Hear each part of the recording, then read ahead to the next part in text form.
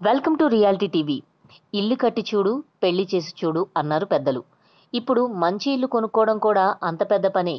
ఎవరో చెప్పారని తక్కువ ధరకు దొరుకుతుందని ఆఫర్లు ఇచ్చారని ఇల్లు కొనుక్కుంటే తర్వాత ఇబ్బంది పడాల్సి రావచ్చు. అందుకే ఇల్లు కొనే ముందు సవా లక్ష అనుమానాలను తీర్చేసుకోవాలి. ముఖ్యంగా ఇంటికి ఎంత ఖర్చు పెట్టాలి ఎక్కడెక్కడ ఎంత ఖర్చు చేయాలనే దానిపై అవగాహన ఉండాలి. దానికోసమే ఈ వీడియో. రియల్ ఎస్టేట్ రంగంలో వచ్చే తాజా అప్డేట్స్ కోసం రియాలిటీ టీవీని సబ్స్క్రైబ్ చేయండి. నోటిఫికేషన్స్ కోసం బెల్ ఐకాన్ను క్లిక్ చేయండి. మరిన్ని వివరాలు వీడియోల కోసం రియాలిటీ టీవీ డాట్ ఇన్ వెబ్సైట్ను చూడండి. ఇల్లు కొనాలని కొంత అమౌంట్ దగ్గర పెట్టుకుంటే అది కాస్త మీ బడ్జెట్ దాటిపోతుంది. దేనికి ఎంత అనే లెక్క వేసినా సరే అనుకున్న దానికంటే ఎక్కువ ఖర్చు చేయాల్సి వస్తుంది. ఇంటిని కొనే ముందు బిల్డర్ లేదా సెల్లర్ చెప్పిన ధరకు పత్రాలు చేతికి అందే సమయానికి పెట్టే ఖర్చుకు చాలా తేడా ఉంటుంది.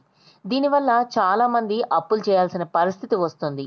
ఇలా జరగకుండా ఉండాలంటే ఇంటి కొనుగోలులో ఎలాంటి ఖర్చులు ఉంటాయో ముందుగా తెలుసుకోవాలి. ఇల్లు యాభై లక్షలు అనగానే యాభై లక్షలు ఇచ్చేయగానే సరిపోదు. దానికి స్టాంప్ డ్యూటీ చెల్లించాలి. తెలంగాణ ఏపీలో ఈ స్టాంప్ డ్యూటీ డిఫరెంట్గా ఉంది. పైగా ఇంటి విలువపై ఆధారపడి ఉంటుంది. గ్రామీణ ప్రాంతంలో ఉంటే స్టాంప్ డ్యూటీ కొంత తక్కువగా సిటీల్లో కాస్త ఎక్కువగా ఉంటుంది. స్టాంప్ డ్యూటీని ఆస్తి విలువలో నాలుగు నుంచి ఏడు శాతం వరకు వసూలు చేస్తున్నారు. అంటే యాభై లక్షల విలువైన ఇంటి మీద స్టాంప్ డ్యూటీ రెండు లక్షల నుంచి మూడున్నర లక్షల వరకు ఉంటుంది. సో ఇంత అమౌంట్ దగ్గర పెట్టుకోవాల్సిందే. అఫోర్డబుల్ ఇళ్ళను ఆడవారి పేరు మీద కొంటే స్టాంప్ డ్యూటీలో ఒక్క శాతం తగ్గింపు ఉంటుంది. అయితే అన్ని రాష్ట్రాల్లో ఉందని చెప్పలేం. ఇక రిజిస్ట్రేషన్ ఛార్జీల వంతు. ఈ ఛార్జీలు ఇంటి విలువలో ఒక శాతం ఉంటాయి. అంటే యాభై లక్షల విలువైన ఇంటికి యాభై వేల రూపాయలు రిజిస్ట్రేషన్ ఛార్జీ చెల్లించాలి. ఆస్తిని కొన్న వాళ్ళు ఎవరైనా రిజిస్ట్రేషన్ తప్పక చేయించుకుంటారు కాబట్టి ఈ ఛార్జీల నుంచి తప్పించుకోలేరు. అంటే స్టాంప్ డ్యూటీ రిజిస్ట్రేషన్ ఛార్జీలకే అటు ఇటుగా రెండున్నర లక్షల నుంచి నాలుగు లక్షలు కట్టాలి. కొనే ఇంటిపై జీఎస్టీ కట్టాల్సి ఉంటుంది. నిర్మాణంలో ఉన్న ఇంటిని కొనాలంటే ప్రస్తుతం ఉన్న రేటు ప్రకారం ఐదు శాతం జీఎస్టీ కట్టాలి. నిర్మాణంలో ఉన్న ఇంటి విలువ యాభై లక్షలు ఉంటే రెండున్నర లక్షల వరకు జీఎస్టీ వర్తిస్తుంది.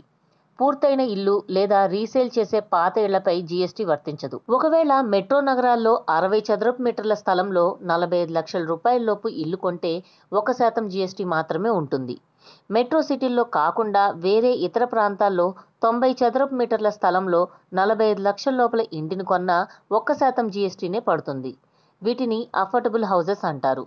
నిర్మాణంలో ఉన్న అఫోర్డబుల్ హౌసెస్ విలువ నలభై లక్షలు ఉంటే నలభై వేలు జీఎస్టీ చెల్లించాలి. కొందరు బిల్డర్లు ఇల్లు కట్టకముందే మెయింటెనెన్స్ ఛార్జీలు వసూలు చేస్తారు. బిల్డింగ్ సేఫ్టీ లిఫ్ట్ ఛార్జీలు ప్రాపర్టీ మెయింటెనెన్స్ ఖర్చులు వాటర్ కరెంట్ ఛార్జీల పేరుతో ఒకటి రెండు సంవత్సరాలు ముందే వసూలు చేస్తారు. ఇది ఎంత ఉంటుందనేది చెప్పడం కష్టమే. కాకపోతే లక్షల్లోనే ఉంటుంది. ప్రాపర్టీ అపార్ట్మెంట్ కాంప్లెక్స్ పరిమాణం బట్టి ఉంటుంది. ఆశ్చర్యంగా మీరు సొంత ఇల్లు కొనగానే పార్కింగ్ కూడా ఫ్రీ అనుకుంటారు. కానీ పార్కింగ్ కోసం ప్రత్యేకంగా డబ్బులు కట్టాల్సిందే.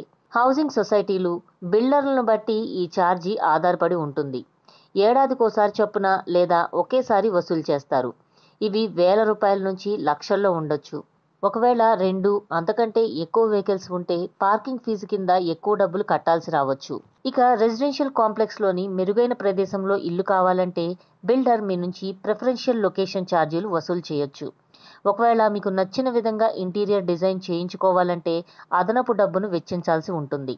ఇక రీసేల్ లావాదేవీలైతే ప్రాపర్టీ ట్రాన్స్ఫర్ కింద ట్రాన్స్ఫర్ ఆఫ్ మెమోరాండం ఛార్జీలను స్థానిక సంస్థ లేదా అసోసియేషన్కు చెల్లించాల్సి ఉంటుంది. మొత్తంగా ఇంటిని కొనే ఖర్చు కంటే పదిహేను శాతం ఎక్కువ పెట్టాల్సి రావచ్చు. పైగా బ్యాంకులు కూడా ఇంటి విలువను మాత్రమే పరిగణలోకి తీసుకొని అప్పు ఇస్తాయి. కాబట్టి ఆ అమౌంట్ మనమే సర్దుబాటు చేసుకోవాల్సి ఉంటుంది. స్థలం నుంచి ఇంటి వరకు ఇండిపెండెంట్ హౌస్ నుంచి అపార్ట్మెంట్ వరకు గేటెడ్ కమ్యూనిటీ నుంచి విల్లాల కొనుగోలు వరకు మీకు ఎటువంటి సందేహాలున్నా మమ్మల్ని సంప్రదించవచ్చు. మా ప్యానెల్ సభ్యులు లీగల్గాను ఫీల్డ్ లెవెల్లోనూ సర్వే చేసి రిపోర్ట్ ఇవ్వడం జరుగుతుంది. పెట్టుబడిలో మీ భద్రతే మా బాధ్యతగా భావిస్తుంది reality TV. My phone number 040